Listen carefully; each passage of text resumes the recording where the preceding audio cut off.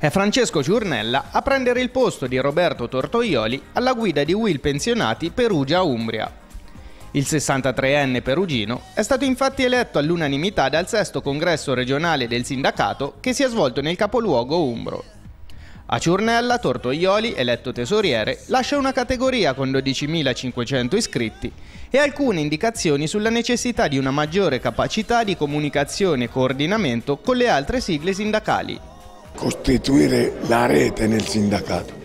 Questo è quello che serve oggi, senza pensare ad un sindacato unico, ma comunque eh, pensare a una solidarietà tra tutte e tre le organizzazioni confederali.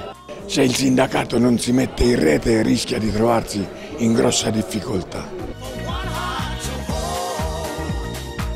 Questa è un'indicazione che a me piace in modo particolare perché io credo alla, al collegamento in rete, non solo per quanto concerne la nostra organizzazione ma anche legata a quella che sono le, le nostre amicizie diciamo, e colleghe di avventura e di disavventura quali la CISL e la CGL. Quindi avere un collegamento in rete ci facilita sicuramente molto.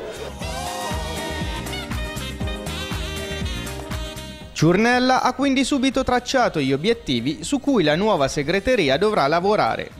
È il lavoro, lo sviluppo, l'occupazione, la tutela del reddito, la legge sulla non autosufficienza dove già noi a livello di Umbria abbiamo fatto tantissimo, la lotta all'evasione fiscale e agli sprechi e ai privilegi, un welfare pubblico e solidale ed estendere la riduzione delle tasse ai pensionati.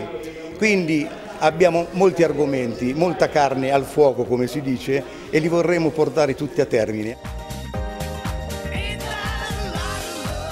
Al centro dei lavori congressuali anche la politica nazionale, su cui è intervenuto il segretario di WILP Alberto Ranges. I pensionati dinari adesso in questo momento hanno un momento di fiducia, sperano che il governo, come è stato già presentato più volte e detto dal, dal Premier, da, da Matteo Renzi, finalmente dia un riconoscimento di questi famosi 80 euro che sono stati promessi anche dall'anno prossimo per i pensionati.